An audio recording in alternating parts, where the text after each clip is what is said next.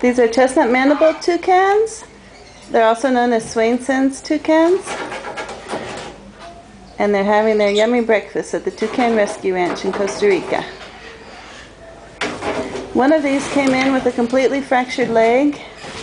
And fortunately, we were able to save the leg and he's able to use it. It's extended, it's actually the middle one that's sitting here. You can see his foot's a little sideways, but at least he can use it. And two of the other ones came in when somebody cut down a tree on one of the local farms and didn't realize that there was a nest hole in the tree. And unfortunately, the babies were in that nest. So they came to live here when they were really young.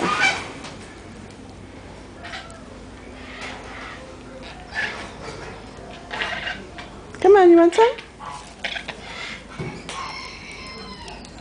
Mmm.